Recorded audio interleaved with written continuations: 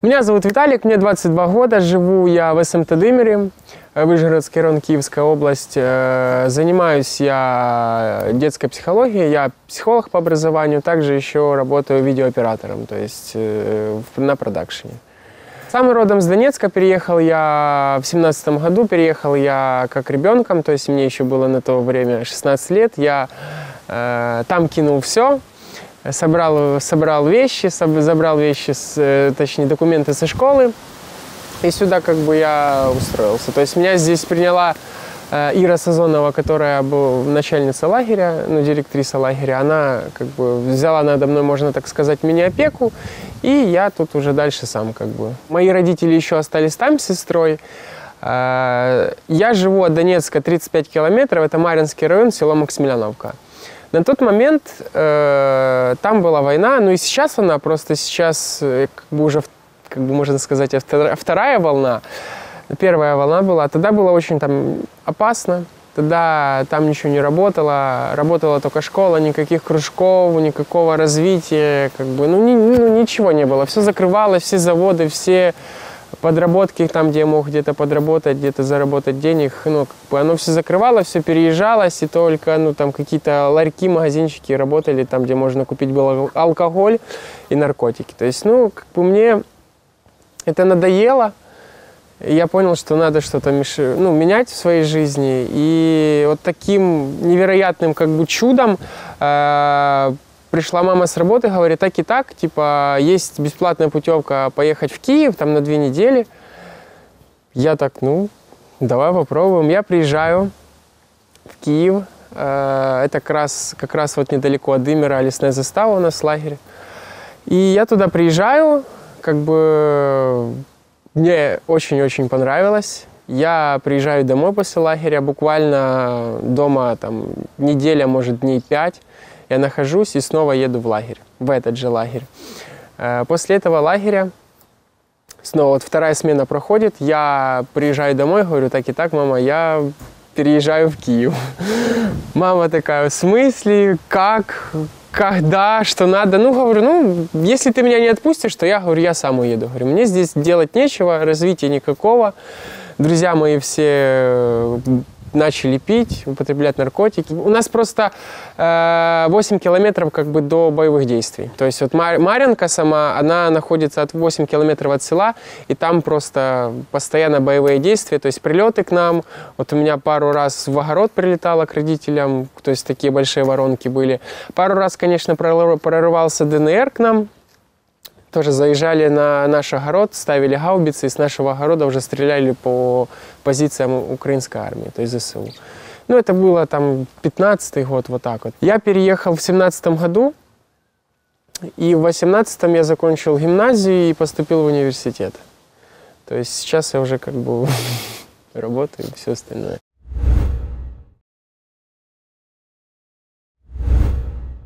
Да, я на самом-то деле думал, просто я как бы не угадал с датами. Я думал, это будет где-то в конце марта, то есть это где-то чис- числа так 25-30 вот так вот чи- числа. Но как бы на месяц так промахнулся. Когда вот соб- собиралась э, армия вокруг наших границ, и как бы начали все об этом говорить, тем более мы еще перед... э, мы приезжали к кумовьям нашим 22 числа, 22 февраля.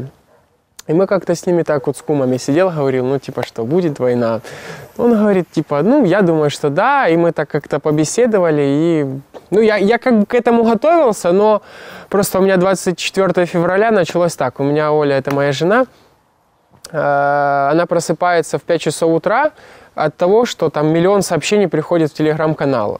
Она меня так будет, говорит, война началась. Я так говорю, какая война, ложись спать, не, не морочь голову 5 утра. Э, Она там сидела в телефоне, читала новости, потом спустилась в туалет на первый этаж, услышала то ли взрыв, что-то такое, слышу, кто-то плачет снизу. Э, Она поднимается наверх, я говорю, Оля, да успокойся, типа ничего нету, это ну, что-то кажется. Она только ложится, и тут как прилетит шарах, ну просто такой взрыв.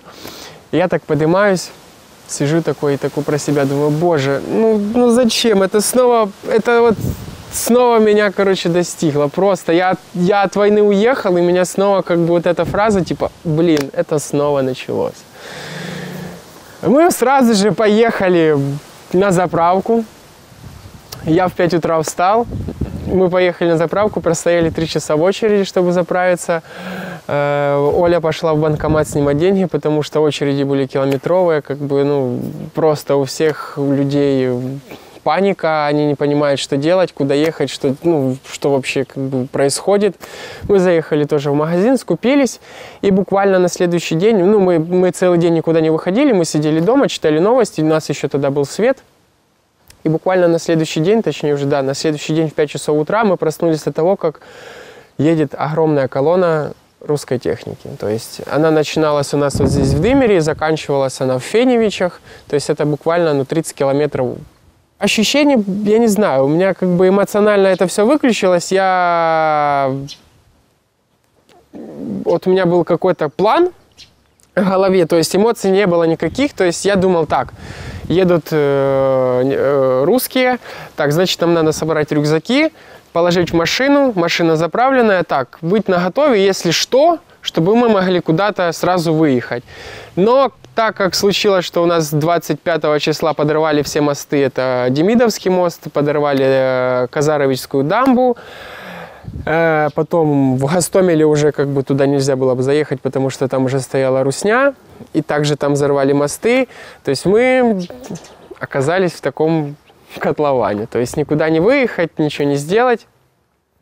То есть, э, ну, я с машиной сразу, короче, ну, так, машина нет, значит, будем типа пешком. Но мы так посидели, по пообсуждали вечером, что, ну, куда идти? Мама здесь, в соседнем селе еще и бабушка, плюс бабушке 83 года. Бросать ее, ну, куда бросать? То есть мы как бы на два села, я перемещался, катался, там бабушке лекарства возил. То есть, ну, как бы так.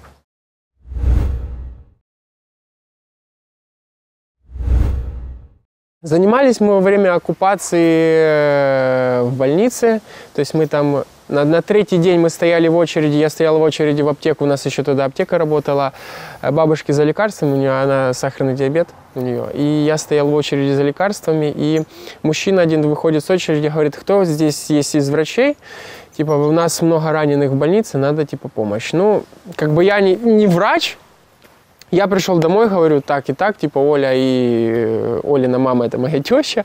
Говорю, так и так надо в больницу, потому что там очень много раненых. Ну, мы собрались и туда поехали. И все 30, 36 дней мы там как дежурили, оставались на сменах. Э, я присутствовал на всех операциях, я за свою жизнь столько не видел. То есть я видел за эти 36 дней все. И разорваны, оторванные конечности, и мертвых людей, и ну просто все, что здесь происходит. Гражданские или военные? Это были только гражданские. Военных у нас не было, потому что военные сюда, э, они сюда не заезжали, потому что здесь было очень опасно. Но здесь было практически все забито русней. То есть они стояли каждом доме, возле каждого дома здесь было большое количество техники. Э, они, наши стояли солдаты вот на точке ноль, это вот за Демидовским мостом сразу же. То есть это вот там их был опорный пункт.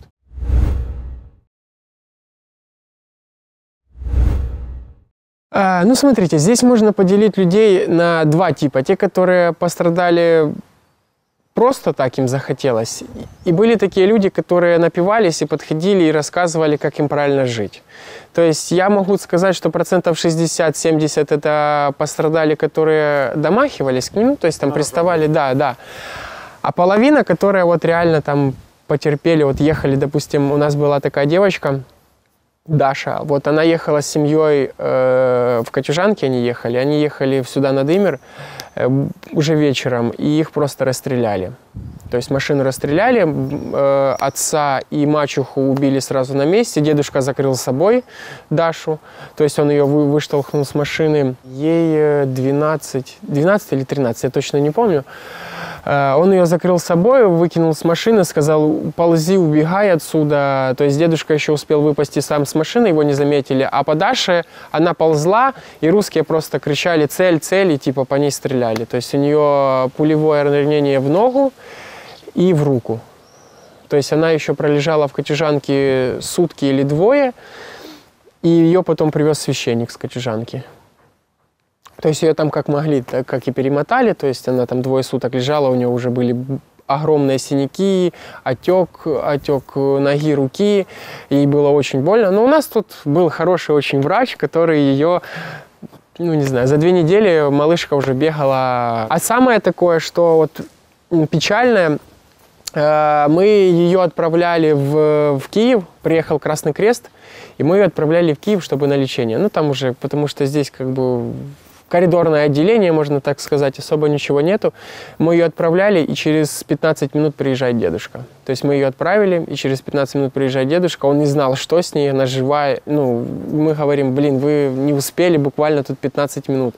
А он говорит, я, ну, я не знал, ну, я не знал, что с ней, я за нее очень сильно переживал, я просто сходил с ума, и я просто взял велосипед, ну, будет что будет, застрелят, так застрелят, но я хотя бы увижу внучку. И он приезжает, и, блин, реально 15 минут, ну, просто. Он приезжает, тут есть, он так подъезжает, говорит, ну, тут есть, типа, девочка Даша. Да, говорим, была.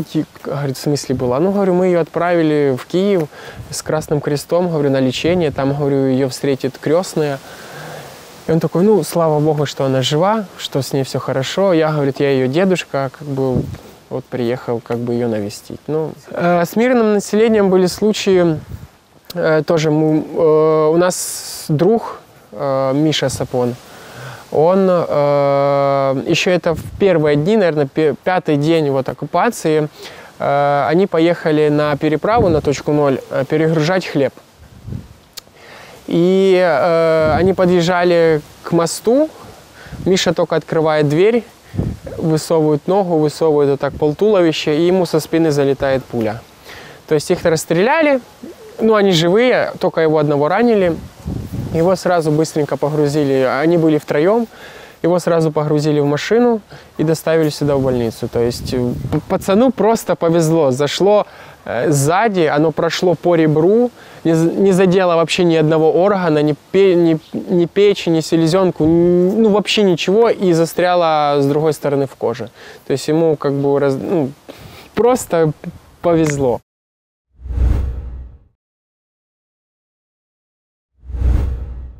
Погибших было три человека три человека. Это была женщина одна, это еще в первый день оккупации, не, во второй день оккупации, когда они э, на Казаровичах на дамбе поставили блокпост, и ехал парень, он забирал с Казарович маму свою и мамину подругу. Э, на одном блокпосту он договорился, на втором блокпосту он тоже договорился, они возвращаются назад, первый блокпост они проезжают, а на втором их просто в лобовую начали расстреливать. Э, женщине попали в легкое, Э, второй женщине попали в руку, рикошетом улетела в затылок. То есть той, той женщине, которая попала в легкое, она умерла. Э, ну, ее просто мы не смогли спасти, потому что у нас не хватало здесь оборудования и много чего, каких медикаментов.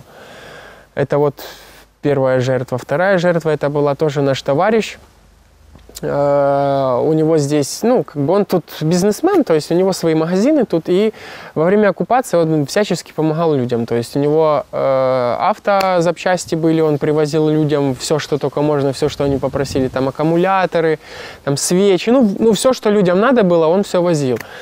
И э, в один прекрасный, ну, точнее, не так, не в один прекрасный, это был ужасный вечер, э, он приехал другу, говорит, так и так, типа, там, говорит, надо на окне э, забить решетку, потому что, говорит, мародеры ее от, от, открыли, но, говорит, а в магазине много вещей, говорит, ну, жалко.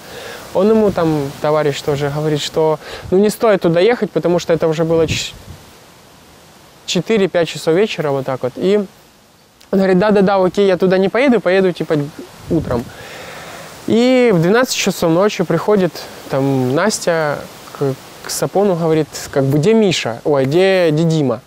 Он говорит, ну как Дима? Дима поехал домой еще в 4 часа вечера, как бы нету Димы. Э, он, он, он, он вообще, он в ступоре, говорит, в смысле, я его отправил домой, говорит, ну еще в 4 часа вечера он сказал, что он никуда не поедет, кроме дома. Они дождались утра, поехали туда в сторону магазина, увидели машину, их туда не пропустили, они э, разговаривали э, с этими орками, чтобы их могли пропустить к трупу, забрать хотя бы труп. Они, жена его очень долго этого орка умоляла, чтобы она отдала труп, чтобы они отдали труп ей.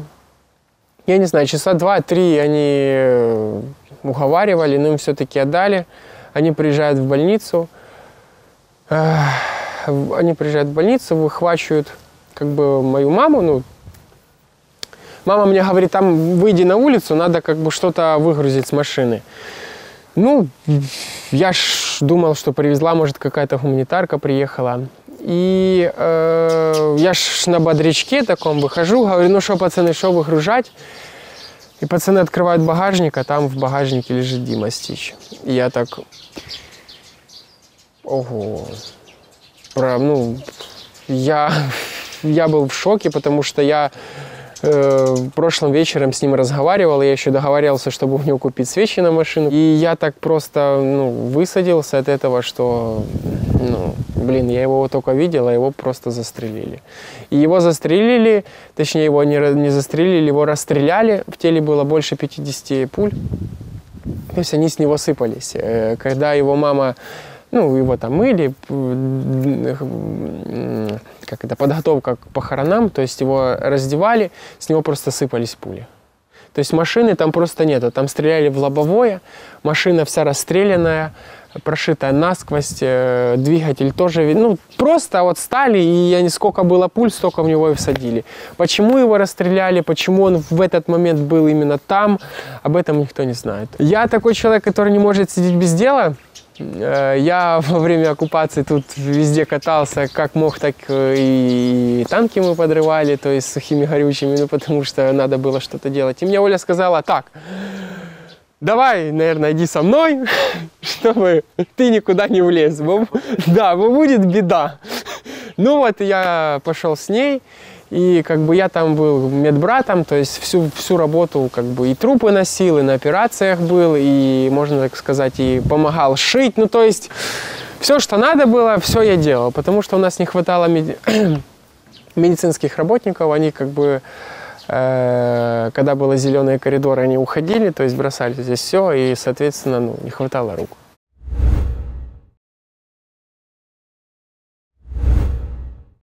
Ой, мы с ними встречались каждый день. У нас они поставили блокпост возле больницы. Мы в больницу ходили каждый день.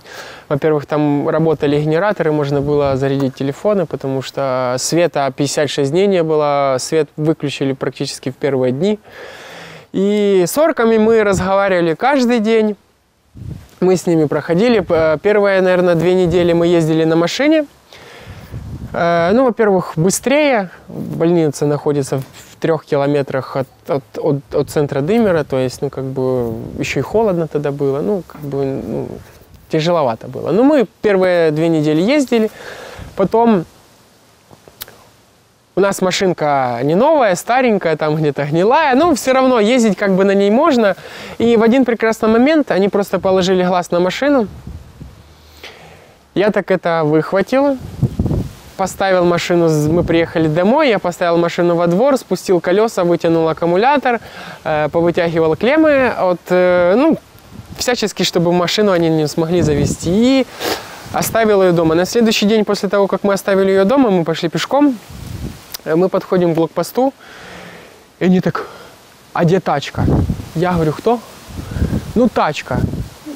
Я говорю, машина вы имеете в виду? Да, да, да, где машина? Говорю, ну, во-первых, закончился бензин, говорю, а во-вторых, она сломалась. А, да, сломалась. А мы так вот, ну, просто по им уже намекам было понятно, что они хотели отжать. Но на самом-то деле э, они максимально глупые. Вот, вот они, во-первых, глупые, во-вторых, понабирали людей, которые алкаши, можно так сказать простыми словами. Вот он стоит без зубов, с РПГ, мотыляет и говорит, что я пришел тебя поднимать с колен. Конечно, ты сейчас пошел поднимать меня с колен, потому что у тебя есть оружие. И я ему говорю, что нам было хорошо на наших коленах. Я мог спокойно поехать в Киев, я мог там два раза в год или три раза в год поехать за границу. То есть сейчас ты меня лишаешь моей работы. Я не могу выехать в Киев, я не могу зарабатывать денег. Я сейчас, говорю, сижу здесь, потому что сейчас, говорю, вы здесь находитесь. Ну, мы, это не мы, это ваш Зеленский. Говорю, подождите, Зеленский, говорю, тут одно, говорю, вы сейчас стоите здесь, я, говорю, не могу просто пройти, потому что, говорю, мне надо рассказать, кто я, откуда я вам. И, ну, вы, ну, мне, говорю, было хорошо на моих коленах, ну, мне было идеально, я, ну, все, что мог, все хотел. Конечно, я агрессивно, наверное, первые дней, дней 10 мы максимально агрессивно к ним просто мы переговаривались с ними, как бы, ну, мы им грубили, потому что, ну, они приехали на нашу землю и говорят, как нам жить. Я, ну, максимально, я даже им говорил, что, как бы, пацаны, валите отсюда, потому что, ну, вас здесь никто не ждет. Говорю, валите, пока ну, вы реально здесь целы, потому что, ну, я не знаю, как меня после таких слов, после такой всей штуки не забрали на подвал, там ничего со мной не делали, я не знаю. Бог, вот в этот момент я реально поверил в Бога, что Он есть, что Он реально вот меня оберегает. Также пару раз грозили, что машину, еще это, когда мы ездили на машине, что в машину с РПГ выстрелят, потому что там какие-то, кто-то там к ним сказал, что мы-то там сдаем какие-то э, их точки, мы делаем какие-то наводки. Ну, мы и делали эти наводки, но как бы Блин, ну это было очевидно, что здесь каждая собака будет сдавать, где они стоят. То есть здесь э, даже бабушка, пенсионерка, которая там за 90, у нас был такой случай, она э, рассказывала, как она сдавала орков. То есть она там звонила внуку и говорила, там, там, там есть, стоят они, можно туда стрелять. То есть, ну...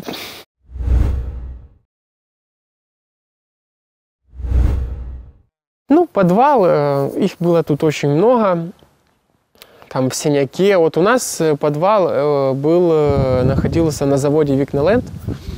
То есть там держали пленных, там над ними издевались, там, ну, все, что хотели, то и делали. То есть у нас был пацанчик, он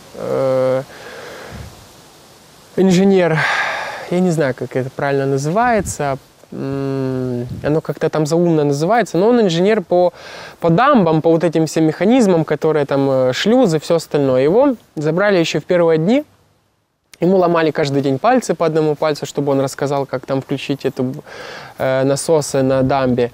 Ему прострелили ногу, ему прострелили колено, то есть максимально издевались, чтобы он дал информацию. Но он говорил, ребята, чтобы включить насосы, надо включить для начала свет. Они говорят, как по-другому? Ну, говорит, я не знаю, как по-другому. Ну, без света здесь никак. Э, после... Он пробыл 23 дня в плену. Там людей было очень много. Там было 28, около 28 человек. То есть э, разного возраста, разного пола. Там и, и бабушки были, и женщины, и детей, по-моему, не было. Пацаны были молодые, пацанам было по, по 16 лет. То есть там было два пацана по 16 лет, которые там тоже были отпустили их э, всех. Это тоже вот такая судьба, когда наши накрывали их на Викнолендах, потому что на Викнолендах там был у них еще склад боеприпасов. Э, их просто там накрывали жестко, они оттуда валили. Они валили как, как крысы, везде, совсюду, с окон выпрыгивали, просто они оттуда ну, уваливали. И их спас Э, охранник на Викнолендах. Он просто отбил замок и выпустил оттуда ребят, которые там сидели. То есть э, вот этот инженер, э, он сам дошкандыбал до больницы, потому что, ну, без вариантов. Те машины никакие не ездят, он даже дошкандыбал до больницы, ему там дали первую медицинскую помощь. И потом его отправили мы Красным Крестом туда, на Киев. Ну, у него пальцы все сломанные, ноги, одна нога ну, колено там что-то тоже простреленное.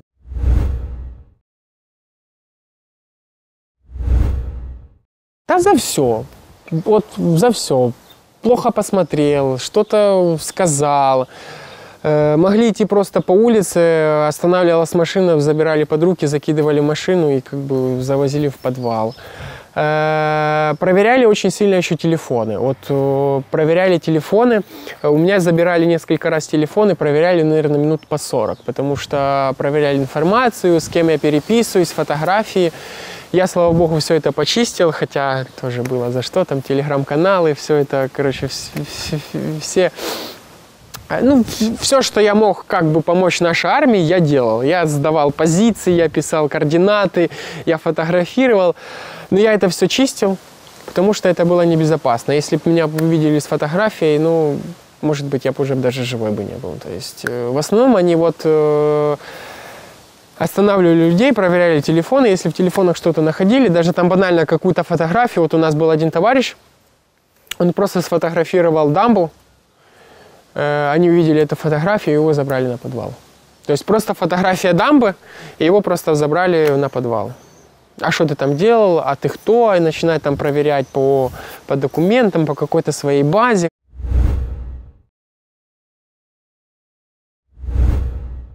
У нас именно вот в доме, к нам они не заходили, но они э, не заходили почему? Потому что вышла мама, на улицу и начала с ними разговаривать. То есть она представилась, кто она, кто она врач, что она здесь узист, и как бы они э, увидели, сказали, хорошо, вы врач, вы хороший, мы к вам заходить не будем. То есть у нас как бы во двор они к нам домой ничего не заходили, а вот к соседу, к другому соседу они заходили, полностью все перерывали, в подвал залазили, э, все шкафы перерывали, чтобы не, не нашли военную форму. Симки тоже позабирали. Вот у кого заходили домой, забирали э, симки. То есть, чтобы не было вообще никакой связи. Хотя на тот момент вообще связи уже ноль было. То есть, дозвониться и какую-то смс отправить, ну, нереально не было. Я видел, как они мародерили. То есть они э, вскрывали магазины, выбивали стекла, залазили, это все закидывали в свои машины, а потом через пару дней приходили и давали это как свою гуманитарку.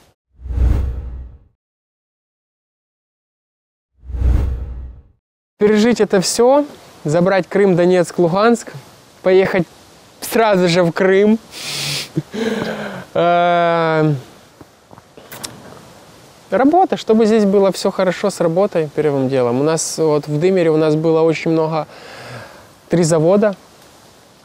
Э, Викноленд, Литейка и и компания, которая перевозила продукты на Европу. То есть они были практически все в одном месте, и когда наши обстреливали, уничтожали склад боеприпасов, конечно, все это пострадало. Сейчас у нас нет рабочих мест. Больше полутора тысяч человек без работы сейчас. И вот таким самым, ну не знаю, главным приоритетом, чтобы было, это была хорошая работа, чтобы она была везде. И ну, вот так. Сейчас я тоже можно так сказать, на своей основной работе не могу, потому что туда прилетел снаряд, сгорела вся техника, сгорела вся аппаратура.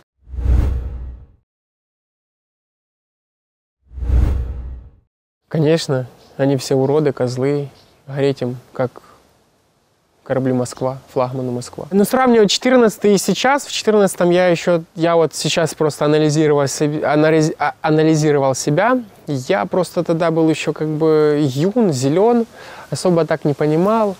Э, ну, для меня это, знаете, вот тогда казалось, как будто вот ну, не совсем реальной такой штукой. Прилетала, ну, там, типа, прилетала. Я, может, до конца не понимал, что если прилетает, то есть мир э, убивает людей. Сейчас, конечно, я понимаю, что это катастрофа. Ну, на самом-то деле это катастрофа. Убивает, убиваются, убивают миллион людей, э, насилуют это вся. Это, ну, во-первых, это очень противно, а во-вторых, это очень жалко людей, мирных и всего остального. И инфраструктура рушится. Ну, я не знаю, это глобально, это катастрофа. То есть сейчас, ну, я понимаю, что это, это, ну, это труба. Это очень печально. Все русские виноваты. Если ты родился русский, можешь себя похоронить сразу, потому что это клеймо не на один десяток лет и не один век будет, потому что после такого, что они сейчас делают и так, как нас поддерживает весь мир, я думаю, русских на пару сотен лет точно будут гнобить и родиться русским, это будет, наверное, самая большая проблема их. Потому что немцы до сих пор как бы фашисты и все остальное до сих пор об этом все помнят. Ну, прошло там сколько, 75 лет. И сейчас с русскими то же самое будет. Даже хуже. Я уверен, ну, в 100% даже хуже будет.